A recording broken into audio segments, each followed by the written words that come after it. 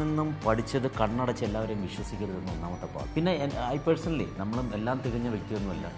നൂറ് ശതമാനം ഞാൻ പെർഫെക്റ്റ് അല്ലെന്ന് ഇപ്പോഴും ഞാൻ പറയുന്നു. ചില വാക്കുകൾ അതായത് നമ്മൾ സംസാരിക്കുമ്പോൾ നമ്മുടെ പച്ച മനുഷ്യരായി സംസാരിക്കുമ്പോൾ എല്ലാവരും വായിൽ നിന്നും വരും.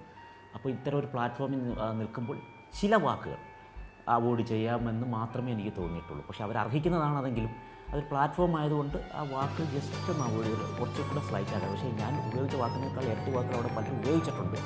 എന്നിരുന്നാലും ഐ പേഴ്സണലി എന്റെ ചില വാക്കുകൾ മാറ്റാൻ അതായത് എന്റെ ജീവിതത്തിലും അതെനിക്ക് ഗുണം ചെയ്യും. എനിക്ക് രാവിലെ എണ്ണിക്കുന്ന സ്വഭാവം കുറച്ച് പാടുള്ളൊരു സംഭവമായിരുന്നു. പക്ഷേ വന്നതിന് ശേഷം കൃത്യമായിട്ട് ഞാൻ അത് എണ്ണിക്കുന്നുണ്ട്. അതൊരു പോസിറ്റീവായിട്ട് ഞാൻ തോന്നുന്നു. ഇപ്പം രാവിലെ നമുക്ക് ഉറങ്ങാൻ കിട്ടിയാൽ നേരത്തെ എണ്ണിക്കാനൊരു ഇത് തോന്നുന്നുണ്ട്. പാട്ടിട്ട് കൊടുക്കണമെന്ന് മാത്രമേ ഉള്ളൂ.